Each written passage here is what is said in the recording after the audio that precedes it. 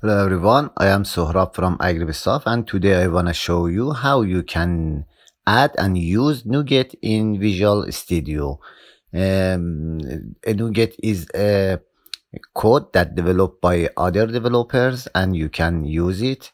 And I have a, v, a WinForm application for adding NuGet. You should uh, right click and reference, uh, but there is other methods I will describe it.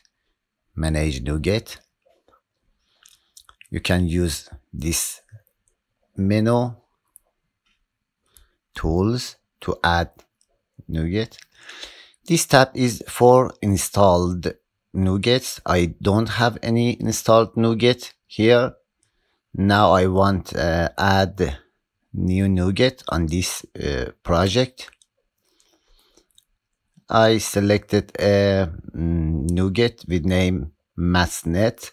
And this is for mathematical operations or statistical or other items. I want I search it and I select the mathnet.numerics. You should select on the NuGet then install it by click on this icon.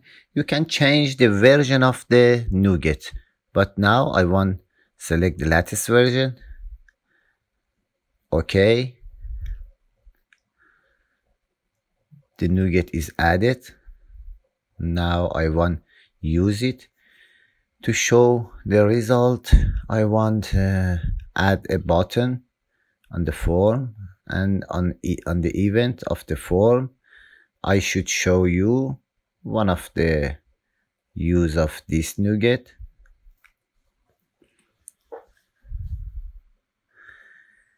you can add the NuGet directly uh, by write the namespace name mathnet dot numerics and I want use the distributions.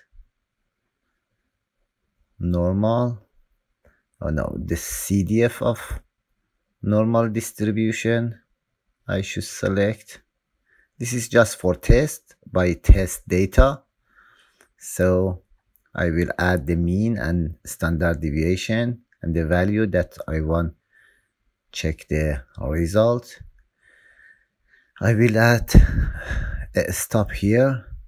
Now start. Oh, you can uh, view the library the DLL file in the reference.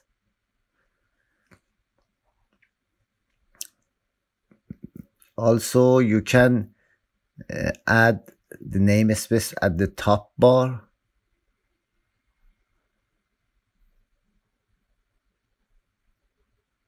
This is using MathNet numerics in the first line. I will start and check the result simply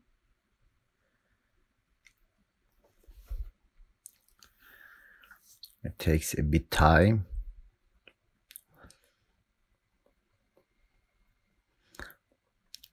when you click on button you can check the result the result of the CDF of normal distribution. This is just for test. This is the probability of the CDF uh, also I want to show you how you can add the NuGet from the other methods. You can check this Mm, this is between installed item. If you want to uninstall you should check this icon and click on uninstall.